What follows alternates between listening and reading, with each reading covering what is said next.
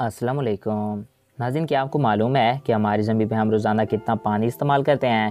یا پھر آپ ایک ایسی مچھلی دیکھنا چاہیں گے جس کے کاٹنے سے انسان کی موت ہو جاتی ہے، مگر پھر بھی اس کو فرائی کر کے کھا لیا جاتا ہے؟ یا پھر آپ ایک ایسے ہوٹل جانا چاہیں گے جس کی کھڑکی سے آپ اپنی زمین کو ہی سامنے گھومتا ہوا دیکھ سکے ہو۔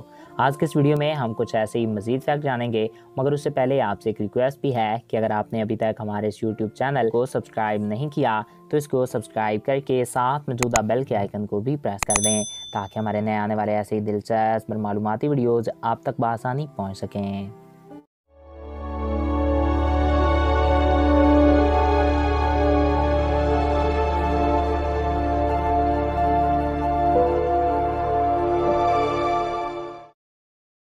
دوستو، پانی بے شک اللہ تعالیٰ کی ایک بہت بڑی نعمت ہے، جس کو ہمیں آنے والی نسلوں کے لیے سنبھال کے رکھنا چاہیے۔ ہماری زمین پہ ہم روزانہ تقریباً چار سو بلین گیلن پانی کا استعمال کرتے ہیں۔ ہماری زمین کا تین فیصد حصہ قابل استعمال ہے، جبکہ ستاون فیصد پانی کھارا ہے۔ تین فیصد میں سے بھی دو فیصد منجمد ہے اور صرف ایک فیصد ندی دریاؤں میں موجود ہے، جو کہ واقعہ میں کافی زیادہ ہے۔ پانی بے شک اللہ تعالیٰ کی بہت بڑی نعمت ہے اور اسے ہمیں آنے والی نسلوں کے لیے سنبھال کے رکھنا چاہیے اور ضائع نہیں کرنا چاہیے۔ دوستوں آپ نے زندگی میں کئی دریا دیکھے ہوں گے۔ رون اور آر دو خوبصورت دریا ہیں جو ایک ساتھ ملتے ہیں۔ مگر حیرانی کی بات یہ ہے کہ ساتھ ملنے کے باوجود ان کا پانی ایک دوسرے میں مکس نہیں ہوتا اور الگ الگ ہی رہتا ہے۔ ان دونوں دریاؤں کے رنگ بھی الگ ہیں۔ جنیوا میں آ کر یہ ایک دوسرے سے مل جاتے ہیں۔ سائنٹسٹ کے مطابق ان کی ڈینسٹی آپس میں نہیں ملتی، جس کی وجہ سے یہ ایک دوسرے میں مکس نہیں ہوتے۔ ایسا ایک سمندر بھی ہے جو الاسکا اور جبلر ٹائن کے قریب واقع ہے۔ اس کا بھی پانی دو رنگوں کا ہے، مگر یہ آپس میں مکس نہیں ہوتے۔ دوستو کبھی آپ نے سوچا ہے کہ ہماری زمین پہ ایک ایسا بھی کھانا موجود ہے جو ہزاروں سالوں تک خراب نہیں ہوتا۔ جی دوستو، شاید وہ واحد کھانا ہے جو کبھی خراب نہیں ہوتا۔ مصر کے احراموں سے سائنٹسٹ کو ہنی ملا جو کہ تقریباً پانچ ہزار سال پرانا ہے، مگر اس شہد کا ذائقہ آج بھی ویسا ہے جیسے کسی تازے شہد کا ہو۔ ناظرین کیا آپ ایک ایسے ہوٹل جانا چاہیں گے جس کی کھڑکی سے آپ اپنی زمین کو اس سورج کے گرد چکر لگاتا دیکھ سکیں۔ جی دوستو، میں کوئی سائنس فکشن مووی کی بات نہیں کر رہا، بلکہ ایک امریکن کمپنی گیٹ وے فاؤنڈیشن ایک ایسے ہی ہوٹل کو بنانے میں مصروف ہے، جس کو وہ سال دو ہزار پچیس تک مکمل کرنے کا دعویٰ کرتی ہے۔ یہ ہوٹل مصنوعی گریوٹی پیدا کر کے زمین کے گرد چکر لگائے گا۔ اس ہوٹل میں چار سو پچاس سے زائد لوگوں کے ٹھہرنے کی جگہ موجود ہوگی۔ اگر یہ واقعہ میں کامیاب ہوتا ہے، تو کیا نظارہ ہوگا کہ انسان اپنے ہی روم کی ونڈو سے زمین کو سامنے گھومتا ہوا دیکھ سکے؟ یہ واقعہ میں کمال ہوگا۔ دوستو، چائنا ایک ترقی یافتہ ملک ہے جو کہ آنے والے دور کی سپر پاور ہے۔ چائنا کی قوم ایک محنتی قوم ہے جو ناممکن کو بھی ممکن کر دکھاتی ہے۔ مگر ابھی چائنا ایک نہایت ہی عجیب کام کرنے جا رہا ہے۔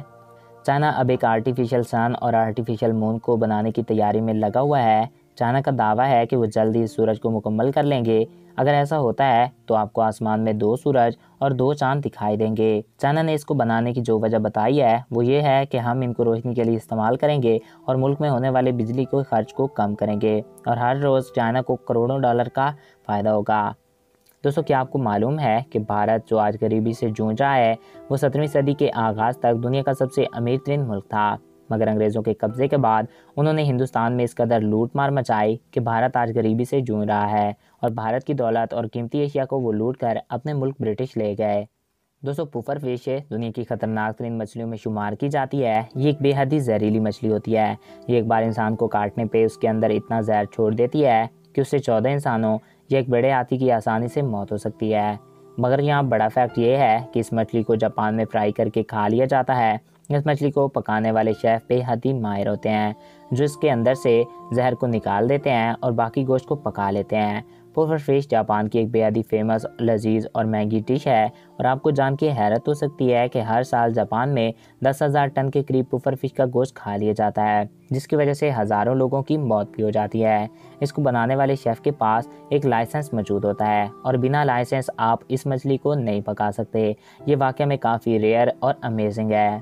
دوستوں بلا شبہ احرام مصر انسانی ہاتھوں سے بنایا ہوا ایک عظیم سٹرکچر ہیں جن کو ہماری آج کی اکیسویں صدی کی سائنس بھی نہیں سمجھ سکی۔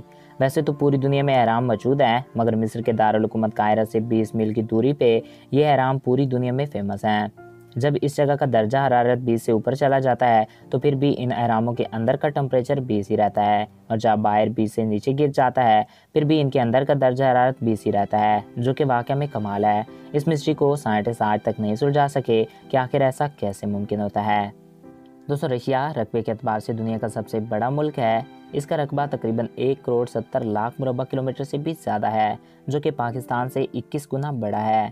یہ اپنی آبادی کے لحاظ سے نوما بڑا ملک ہے اور ساخہ ریپبلک رشیا کا ایک ایسا علاقہ ہے جس میں رشیا کی بیس فیصد زمین آتی ہے، جو کہ تقریباً بھارت سے زیادہ بنتی ہے۔ اس علاقے کی آبادی بے ہی کم ہے اور اس کے زیادہ تر علاقوں پہ کبھی بھی کسی انسان نے قدم نہیں رکھا۔ آپ سوچیں کہ رشیا کے پاس ایک اتنا بڑا علاقہ موجود ہے جو کہ بھارت جتنا ہے اور اس پہ کبھی بھی کسی انسان نے قدم نہیں رکھا۔ یہ واقعہ میں امیزنگ ہے۔ تو ناظرین، یہ تھے کچھ امیزنگ فیکٹ میں امید کرتا ہوں آپ کو ہمارا یہ ویڈیو اچھا لگا ہوگا اور آپ کی معلومات میں اضافہ ہوا ہوگا۔ اگر آپ کو ہمارا یہ ویڈیو اچھا لگا اور آپ کی معلومات میں اضافہ ہوا ہے تو ہمارے اس یوٹیوب چینل کو سبسکرائب کریں اور ساتھ موجودہ بیل کے آئیکن کو بھی پریس کریں۔ اور اگر آپ کسی بھی ٹاپک پہ ویڈیو دیکھنا چاہتے ہیں تو کمنٹس باکس میں اپنی رائے سے ضرور آگاہ کر سکتے ہیں۔ ایک نئے دلچسپ اور انفارمیٹیو ویڈیو میں پھر ملیں گے۔ تھینکس فار واچنگ اللہ حافظ۔